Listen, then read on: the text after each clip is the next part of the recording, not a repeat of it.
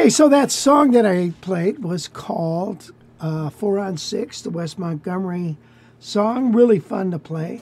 The chords go.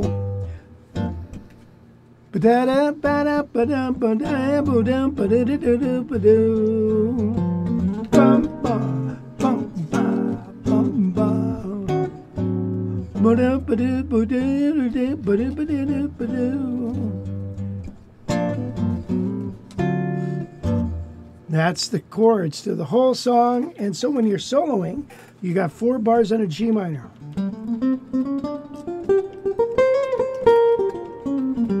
Now, then it goes to C minor, and then to B flat minor, and then A minor, and E flat minor.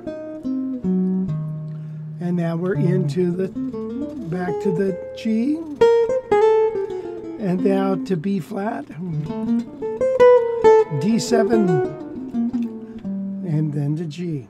So what's cool is uh, if you can kind of uh, in your lines use, even though this is four bars of G minor, we're going to put a dominant chord to take us to the C minor.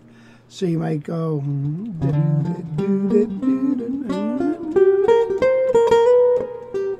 Hear it? And then C minor. And then there you have it. You guys C minor, you might go to F dominant then.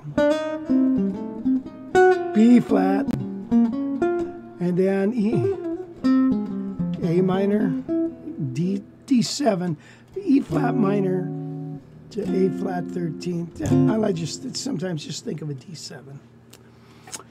And there's your soloing. And then uh, to bring us back to the F minor or the G minor, I played this F sharp diminished. And that F sharp diminished also takes us to B flat. So that F sharp diminished is an important little little arpeggio in soloing with that song. So Wes, what do you think of this guitar? Uh, it's cool. Yeah. This is a 1967, I think. It's a 125C. Okay, so this is a laminate sides and top and back with a um, rosewood fretboard and uh, mahogany neck. Now, what's so different about this than a 175? The binding. That's it. it doesn't have binding on the neck. Yeah, I, I, I think that's it. So this guitar, I, I this, I, I've liked these. They didn't make very many of these. It's it's a rare one. So um, on this 125, usually they're thin ones.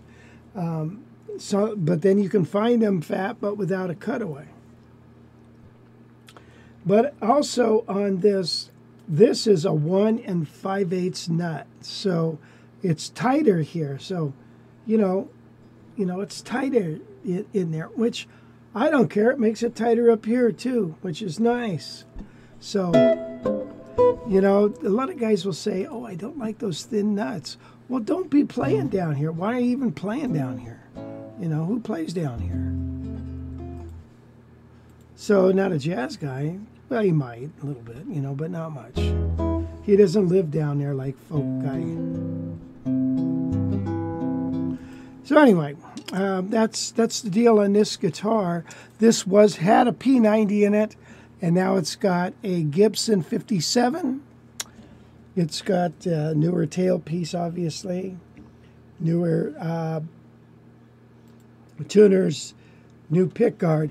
and it's hey Wes, try to get in tight on this guitar because I want you to kind of can you see the back of this neck and stuff?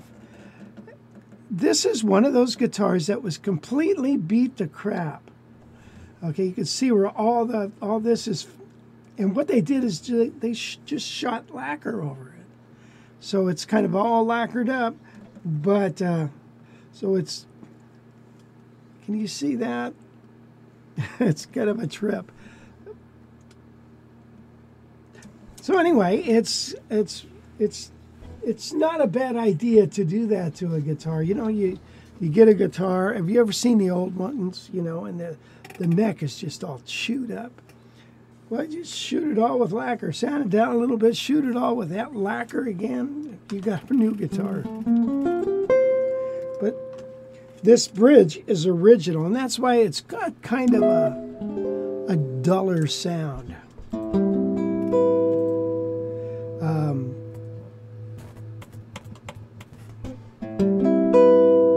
but anyway, uh, there it is. Hi, Rich here again. I just wanted to say thanks for checking out my videos.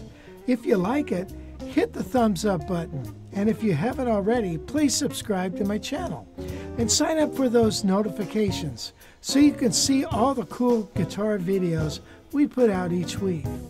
If you want more lessons right now, I have hundreds of them at guitarcollegelibrary.com. Check out our low price monthly streaming memberships. And if you want to learn jazz, check out my course, Jazz Guitar Improv. I take beginner jazz players and get them playing awesome solos on the fly. You'll see the link for the JGI course in the description below. Hey, thanks again for watching my channel. We'll see you again real soon with a new video.